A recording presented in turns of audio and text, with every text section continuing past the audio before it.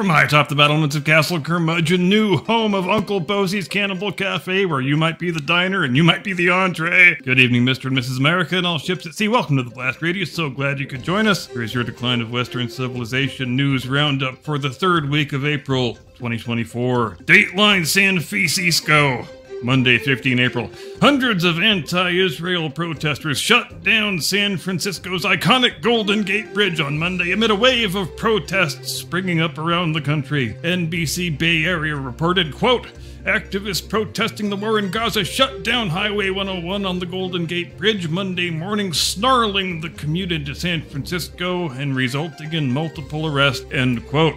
Asked to explain how shutting down traffic on a bridge in California changes the political status quo 7,400 miles away in the Holy Land, the protesters replied, Oh, wait, there was no reply, because the dozens of self described journalists on the scene never thought to ask the question, because they were too busy giving high fives and attaboys and assalamu alaikums to the idiots who were blocking the goddamn road. Oh, you need to get to work in the middle of a workday? Tough shit, racist. You need to get to the hospital? Tough shit colonizer. You think you've got the right to drive on a public roadway just because you pay for the damn thing? Tough shit, you filthy Zionist enabler. And can I also ask, what is the deal with every city council passing some dumb, ostentatious ordinance demanding a ceasefire in the Israel-Hamas war? Like, like, like what? A strongly worded statement from the city council of Buttfuck Junction, Ohio, is going to change everything? Ladies and gentlemen, if you want to see American cultural imperialism, the kind our friends on the left say they are against, look no further than this very phenomenon. American city councils making policy demands of foreign countries. Because I don't even care what city you're in, I know what the residents of that city would rather their elected leaders be doing than cosplaying as wannabe world leaders. Your residents would rather you be getting all the vagrants and drug dealers off the damn streets. You know, since that's like your actual job. Call me crazy. Dateline Waukesha, Tuesday, 16 April. Will someone please explain why we can't have nice headlines come out of Waukesha? I was used to imagine Waukesha being a pretty nice middle of the road town up there in Cheesehead country somewhere. But we only ever get goddamn horrifying news headlines out of the place, seems like. Like this very headline right here, so I guess I'll just get it over with and, and read the damn thing. Quote Transgender vampire convicted of sexually assaulting developmentally disabled Wisconsin teen. End quote. You know, has anybody else noticed that people who swap out their wedding tackle and start playing for the other team, they seem to always wind up as really happy, well adjusted people afterward, don't they? Adam Hetke, a 35 year old dude who pretends to be a woman named Sabrina,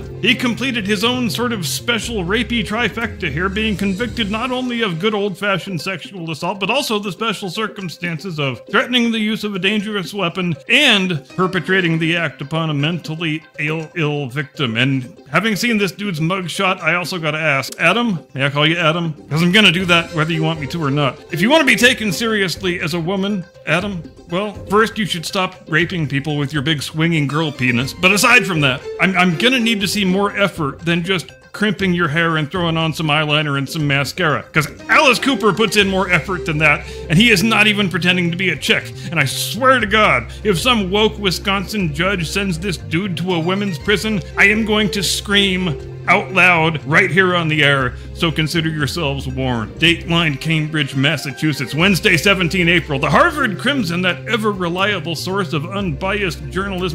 Some might call it the minor leagues of the fake news industrial complex, but that's neither here nor there, has published an editorial stating its firm belief that it's sort of, you know, not really all the way necessarily 100% true that big hulking dudes have a competitive sporting advantage over little dainty women. So when Will Thomas destroys his female competitors by 20 body lengths and then towers over the second and third blade finishers by 18 inches on the medal stand, you know, because he's a six foot two, 200 pound grown ass man. You have to not believe your lying eyes, or else you're a damned filthy bigot, because the editorial board of the Harvard Crimson, they have done a thing that fake news sludge monger performance artists really love doing, which means they've probably got a bright future in the industry. They take a thing that is self evidently true, that anybody can figure out who, who is cognitively functional, and they tell you it's not true, and you mustn't believe it. Because the experts say you have to trust trust this spreadsheet over here with all these little numbers on it. And the experts say that the numbers say